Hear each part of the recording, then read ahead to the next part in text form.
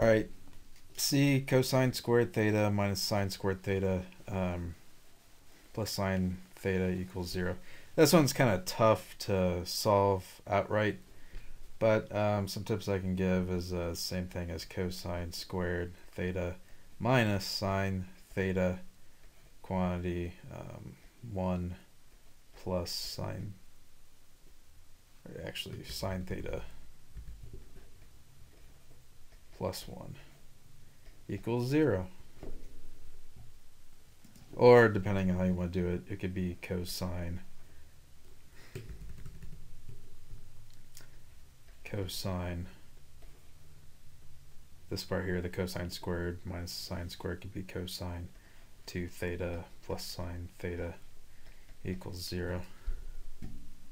And solving, so we should get three points, so we'll end up with um, uh, pi over 2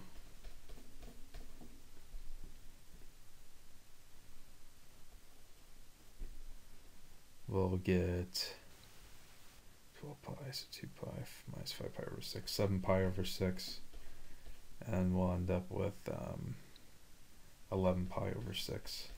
So we can check these really quick. So pi over 2 is equal to 0 or um, excuse me, it's equal to um, pi, pi over 2 is equal to 0 for the cosine. And then um, minus 1